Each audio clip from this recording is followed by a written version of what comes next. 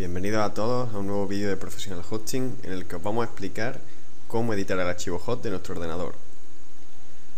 Esta forma de hacerlo vale tanto para Windows Vista como para Windows 7, ¿vale? Para editar este archivo hay que ejecutar el blog de notas como administrador.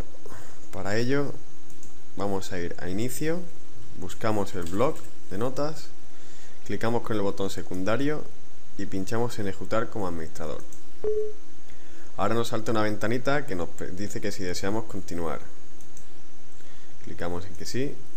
Vale, una vez que se ha abierto el blog de notas, vamos a Archivo, Abrir. Y ahora vamos a buscar la ruta en la que se encuentra el, documento host. Vamos a Equipo, Disco Local C, Windows. Ahora vamos a System 32.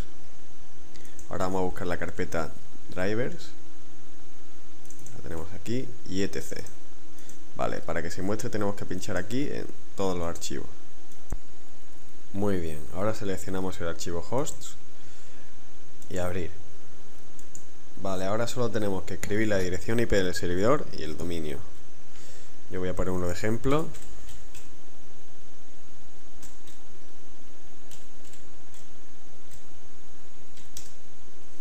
Vale, y al lado el dominio.